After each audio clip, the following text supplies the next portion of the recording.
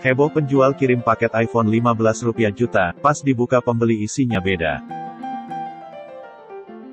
Beredar unggahan tentang seorang penjual yang kebingungan lantaran barang yang ia kirim berbeda dengan yang diterima oleh pembeli. Unggahan tersebut dibagikan oleh akun Twitter @txtdroneshop, Kamis, tanggal 18 November tahun 2021. Akun tersebut mengunggah sebuah video yang memperlihatkan bukti si penjual mengirimkan barang berupa ponsel. Namun setelah sampai kepada pembeli, rupanya barang yang diterima berbeda dari yang dikirim.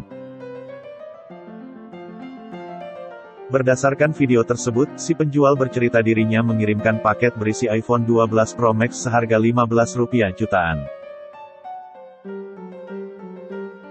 Dirinya menyertakan video saat ia membungkus barang yang hendak dikirim. Dalam video tersebut, penjual membungkus paket menggunakan bubble wrap yang tebal dan berlapis-lapis. Dia membungkus paket tersebut dengan hati-hati karena akan dikirim dari Tangerang ke Sulawesi.